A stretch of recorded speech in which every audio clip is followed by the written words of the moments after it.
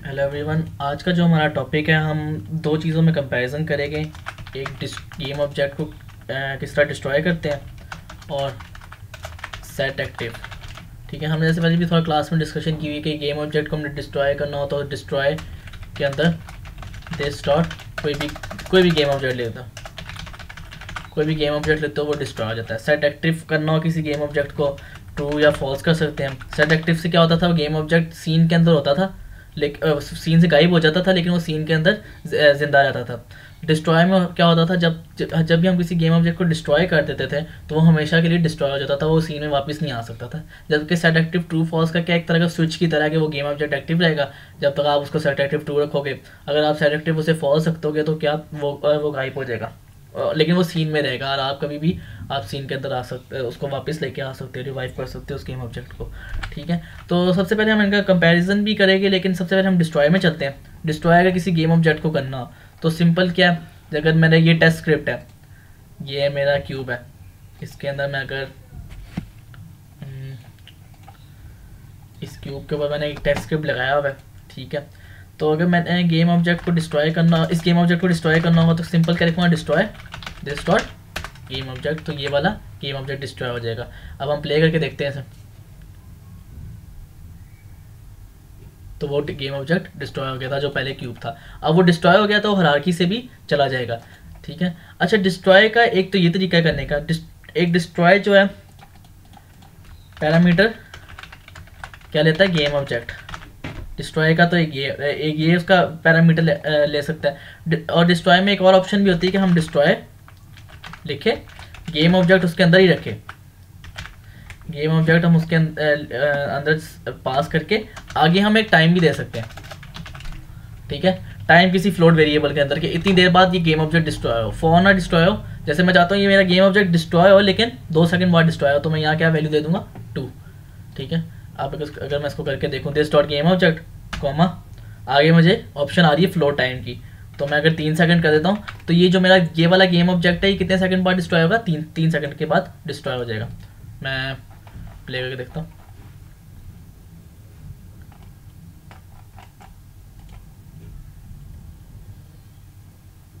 एक, दो, तीन। तीन सेकंड बाद वो ऑटोमेटिक डिस्ट्रॉय हो गया। ठीक है? अगर मैंने कोई बाहर से गेम ऑब्जेक्ट लेना है तो मैं ये गेम ऑब्जेक्ट लूँगा। ओ बी जे एक मैं ले लेता हूँ। ठीक है? अब मैं चाहता हूँ ये डिस्ट्रॉय ना हो ओ बी जे डिस्ट्रॉय हो जाए।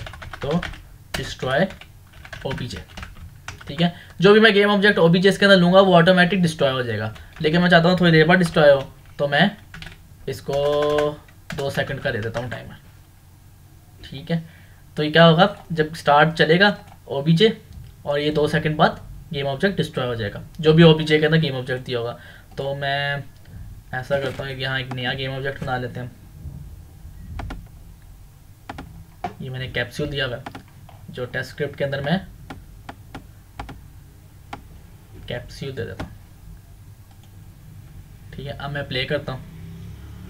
तो दो सेकंड बाद जाके कैप्सूल डिस्ट्रॉय हो गया। ठीक है, वो डिस्ट्रॉय हो गया और हरारकी से भी वो वाला चला गया। ठीक है? अच्छा मैं डिस्ट्रॉय को तो पता चल गया होगा कि डिस्ट्रॉय तो जो होता है, हमेशा के लिए गेम ऑब्जेक्ट को डिस्ट्रॉय कर देता है। वो गेम ऑब्जेक्ट कोई रिवाइव नहीं कर सकता, उस सीन से चला के और वो कभी नहीं वापस आ सकता। और डिस्ट्रॉय करने का तरीका ये डिस्ट्रॉय का फ़ंक्शन लिखे उसके अंदर गेम ऑब्जेक्ट का कोई भी गेम ऑब्जेक्ट देता है, वो डिस्ट्रॉय हो जाएगा। हमने एक और चीज़ देखी कि डिस्ट्रॉय के अंदर हम एक और पैरामीटर दे सकते हैं टाइम का। कि कहीं होता है कि अगर मुझे गोली लगी है तो मैं चाहता हूँ मेरे दो, मेरा जो एनिमी है वो तीन सेकंड बाद डिस्ट्रॉय हो जाए।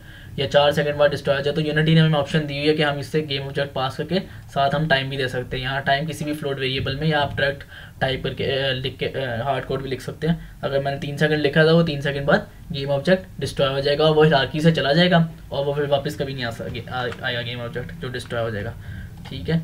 अच्छा। अब इसका ये है कि अब हम अगला जो टॉपिक है वो करते हैं, जो एक तो हमने डिस्ट्रॉय वाला किया अब है एक सेट एक्टिव सेट एक्टिव क्या होता है? गेम अगर मैं यहाँ मैनुअल करके बताऊँ, ये गेम ऑब्जेक्ट आपको कैप्सूल नज़र आ रहा है ना? सीन में भी शायद नज़र आना चाहिए वो शायद कैमरे के पीछे है। अच्छा ज़ीरो ज़ीरो में। ज़ीरो ठीक है। ये मेरा गेम ऑब्जेक्ट है। अच्छा अगर मैंने इसको सेट एक्टिव फॉल्स करना हो ना तो ये मैं कर दूँगा ये सेट एक्टिव फॉल्स हो जाएगा यहाँ से। ये मैनुअली मैं कर रहा हूँ। तो ये क्या होगा? ये गेम ऑब्जेक्ट यहाँ से ख़त्म हो जाएगा। लेकिन सीन सीन में नज़र नहीं आएगा, लेकिन हरारकी के अंदर होगा। ठीक है? इसके ऊपर जो भी स्क्रिप्ट वगैरह लगी होगी, वो ऑटोमेटिक ऑफ़ हो जाएगी, तब तक जब तक ये अनचेक है। जब इसको मैं सेट ट्रू करूँगा तो ये गेम ऑब्जेक्ट दोबारा आ जाएगा और ये वाले, इसके इसके जो सारे कंपोनेंट्स हैं, वो चलने लग जाएँगे। ठीक है? अगर मैं एक एग्जांपल ले लेता हूँ कैप्सूल के अंदर ना एक मैं स्क्रिप्ट ले लेता हूँ वैसी। टेस्ट कैप्सूल स्क्रिप्ट ले लेता हूँ एक।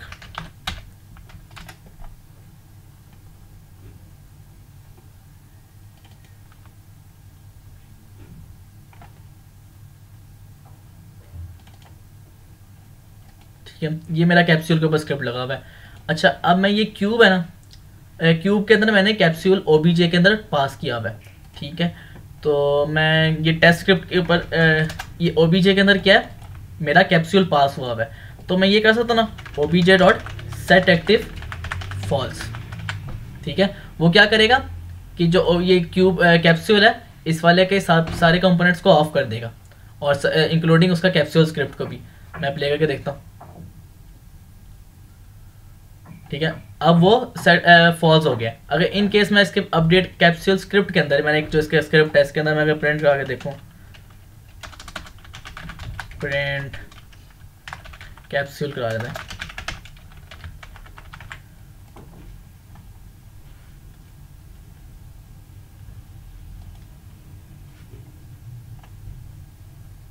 ठीक है?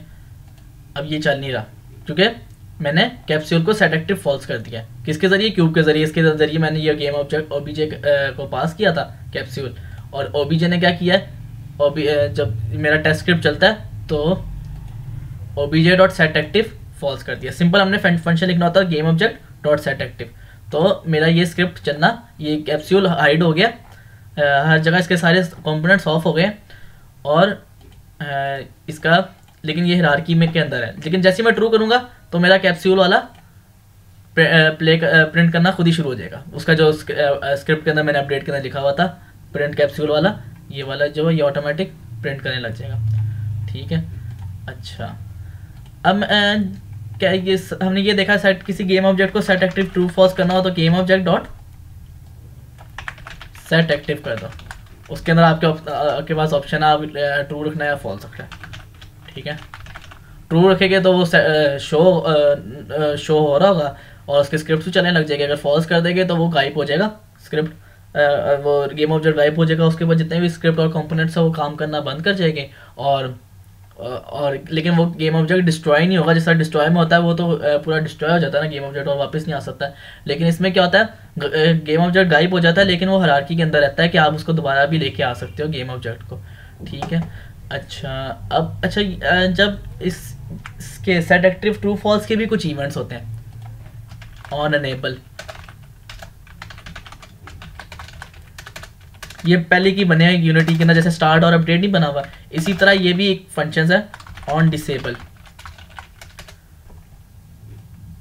ठीक है? ये क्या होता है, जब सेट एक्टिव हम ट्रू करते हैं, ये तो नाम से पता चल रहा होगा। जब हम सेट एक्टिव को ट्रू करते हैं तो ये वाला इवेंट कॉल हो जाता है स्क्रिप्ट का। जब हम सेट एक्टिव फॉल्स करते हैं, जब स्क्रिप्ट बंद होने लगता है तो ये वाला इवेंट कॉल हो जाता है इसका। ठीक है?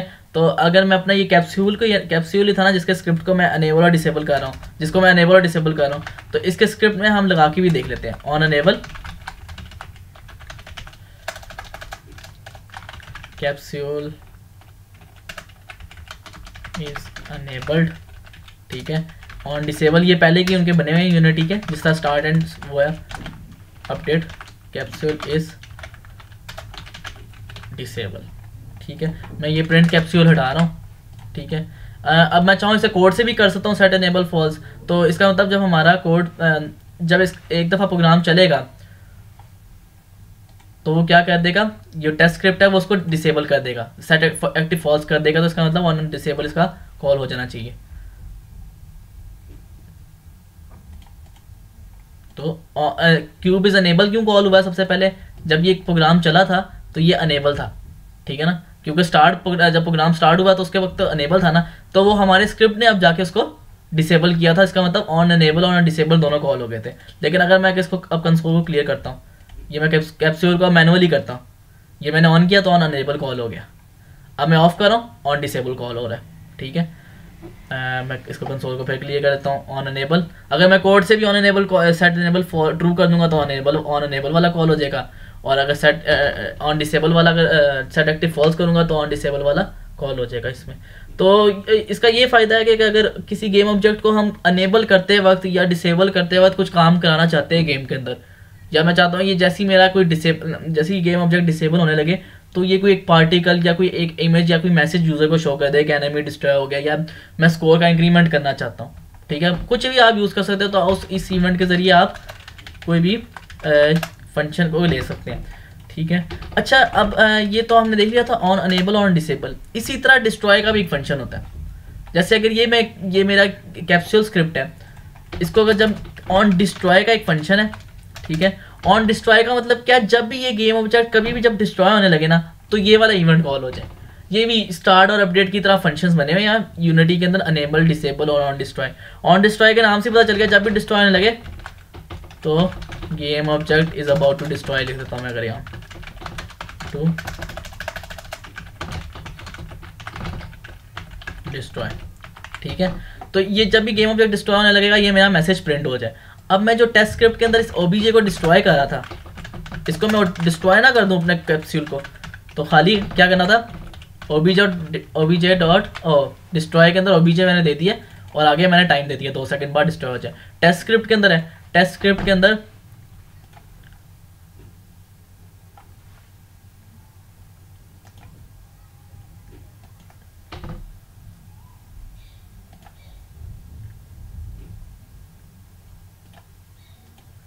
ये जो मेरा टेस्ट स्क्रिप्ट है, ये मेरा क्यूब में लगा हुआ है। इसके अंदर ओबीजे क्या है?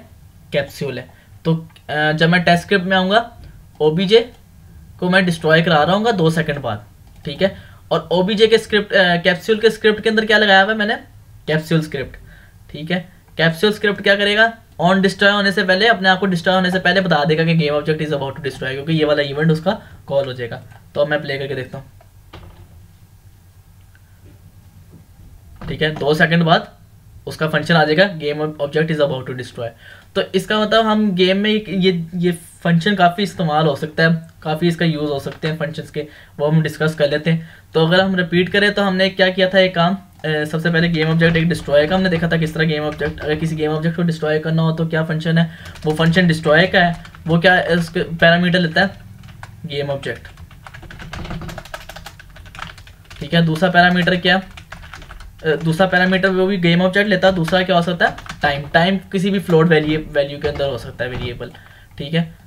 और टाइम जैसे अगर मैंने कोई गेम ऑब्जेक्ट दिया टाइम उसका मैंने दो सेकंड दे दिया तो वो दो सेकंड बाद डिस्ट्रॉय हो सकता है। अच्छा जिस गेम ऑब्जेक्ट के ऊपर स्क्रिप्ट लगा हुआ है, उसके ऊपर हम एक फ़ंक्शन भी लगा सकते हैं ऑन डिस्ट्रॉय का, जो कि पहले की बने हुए फ़ंक्शन है, जिस तरह स्टार्ट अपडेट बना हुआ है ना हमारा फ़ंक्शन इसी तरह ये वाले, ये जो है ऑन डिस्ट्रॉय का फ़ंक्शन ये पहली बना हुआ है। ये कब होता है? जब भी कोई गेम ऑब्जेक्ट जिसको मैं जिस गेम ऑब्जेक्ट को मैं डिस्ट्रॉय करने लगूँगा ना, ये वाला गेम ऑब्जेक्ट तो उसके ऊपर अगर कोई भी स्क्रिप्ट जिस स्क्रिप्ट के ऊपर मैं ऑन डिस्ट्रॉय लगाया होगा ना तो ये वाला फ़ंक्शन उसका कॉल हो जाएगा कि ये अब डिस्ट्रॉय होने लगा फ़ंक्शन आपने कुछ प्रिंट कराना है या कुछ कराना है तो आप करा सकते हैं। ठीक है, हमने डिस्ट्रॉय में देखा कि ये गेम ऑब्जेक्ट को फुली डिस्ट्रॉय कर देता है, और वो गेम ऑब्जेक्ट दोबारा आ नहीं सकता। वो जैसे पूरा डिस्ट्रॉय हो गया, पूरा सीन से ही चला गया, उसको गेम ऑब्जेक्ट को दोबारा हम रिवाइव नहीं कर सकते। फिर हमने चेक किया था, एक होता है set enabled false set enable set active game object dot set active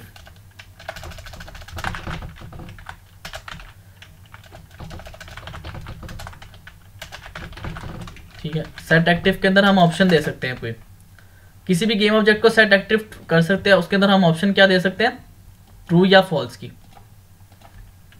true या फॉल्स की। ये हमारे पास ऑप्शन होती है कि हम किसी गेम ऑब्जेक्ट को सेट एक्टिव ट्रू भी कर सकते हैं या फॉल्स भी हम कर सकते हैं। ठीक है? सेट एक्टिव सेट एक्टिव अगर जो सेट एक्टिव को अगर हम फॉल्स कर दें तो गेम ऑब्जेक्ट वहाँ से गायब हो जाता है, लेकिन वो सीन के अंदर हिरारकी के अंदर रह सकता है और वो गेम ऑब्जेक्ट दोबारा आ भी सकता है, जबकि डिस्ट्रॉय में ये था नहीं।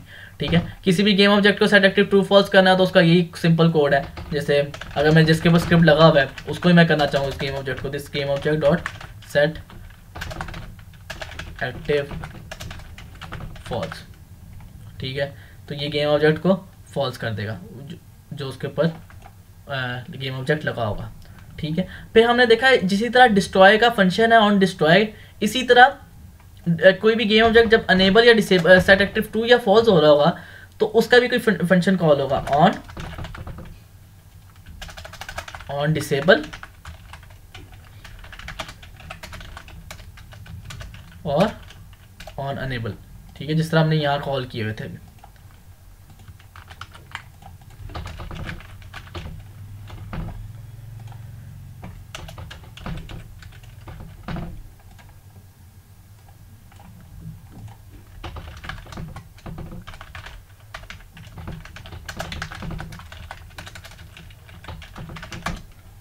ये उसके फ़ंक्शंस हैं। ये फ़ंक्शन कब और कहाँ किस वक्त कॉल होते हैं? जब भी किसी गेम ऑब्जेक्ट को मैं सेट एक्टिव फॉल्स कर रहा